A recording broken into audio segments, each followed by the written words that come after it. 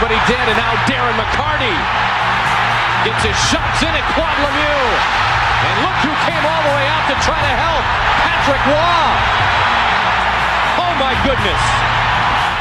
Mike Vernon with a great lift. Follows up with the right. How about this?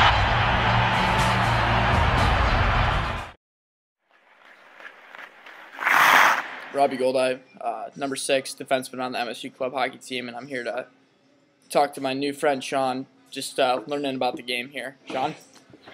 Hey there, Rob. Sean, when uh, you're obviously a newcomer to the game, uh, that what, I am. what do you think of when you hear the word hockey? Hockey?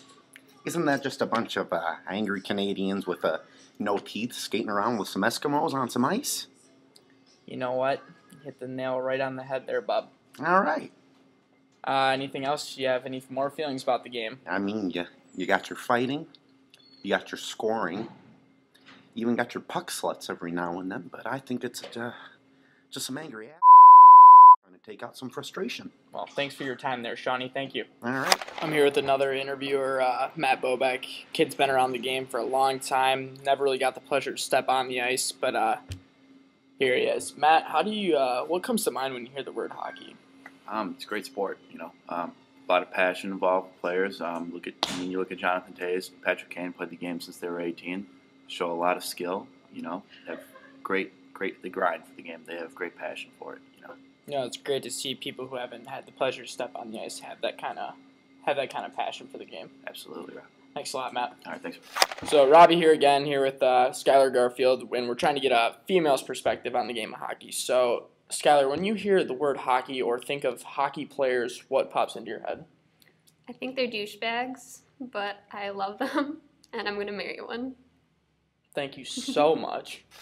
You know, the the interviews were going great. Then I started asking people about the stereotypes. Hockey, beer, beer, and lots of beer.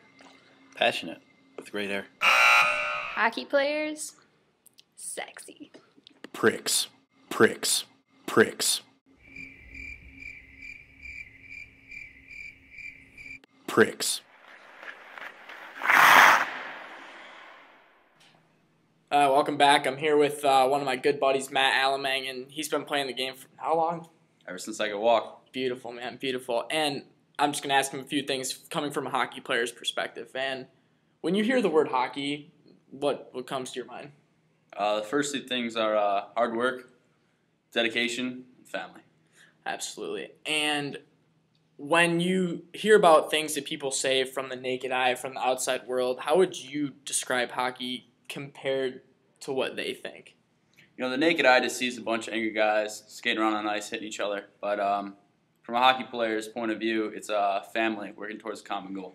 Absolutely. And what? Give me a run through of a typical day, day in the life of a hockey player.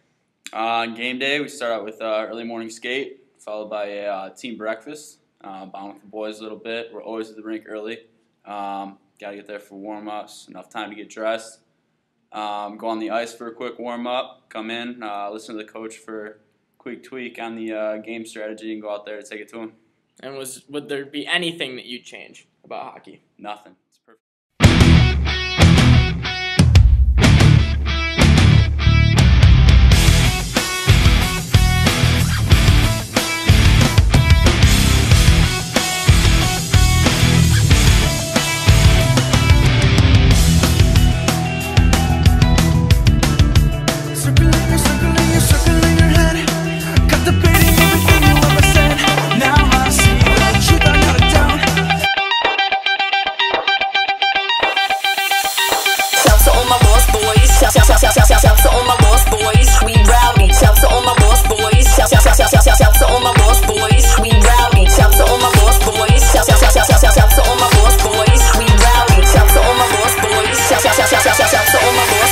Boys.